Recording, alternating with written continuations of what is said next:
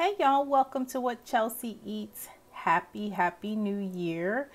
I am going to take you all with me on a couple of errands that I'm going to run today. I've got to run the Target and then I'm going to get my breakfast at Juicekeys. So I wanted to bring you along.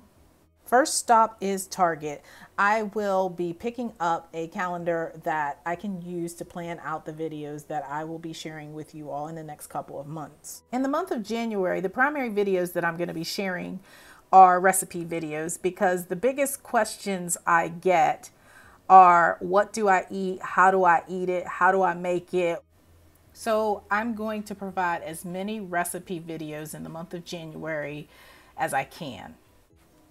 So let's head into Target. I am looking for a planner that has a monthly format.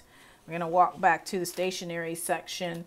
I like things written when I'm trying to plan my videos, so I have to find something that is big enough so that it can handle my big flowery handwriting, as well as it can sit on my desk and it can not take up too much space.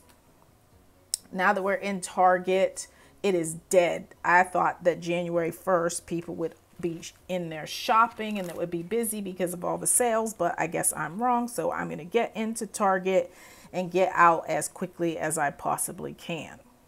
So here we are in this section. It doesn't look like they have too much to choose from, but I'm just going to pick something and looks like this will work. this flowery one, I'm going to get it and go. So now I am headed over to Juicekeys to get my breakfast because I am hungry.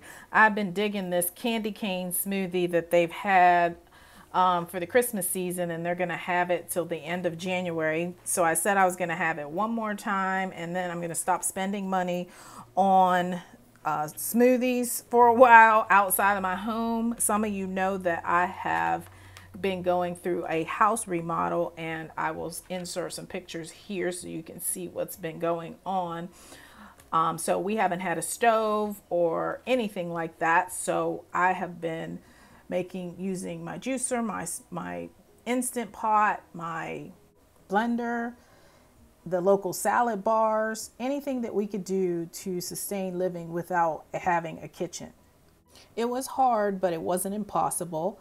There were times when I chose to eat things that I shouldn't have eaten and I paid for it. And then, you know, we had a lot of times where, you know, we were just fine with what we chose to eat out because a salad bar can be your friend. But I am so happy now that we're almost finished. As you can see, we've got the countertop in, we're putting things back together. And so no more eating out for a good long time. I'm ready to be back in my kitchen. But one last stop at Juicekeys, my favorite juice bar here in Raleigh, North Carolina. They have this candy cane smoothie that I absolutely love. And my husband wanted a Mo Mocha. I think that's what it's called. So I'll show you a little bit of the menu. There's the candy cane, the hot drinks they have. Let's see, there's all the smoothies, the boosters they really do have some healthy options in this juice bar.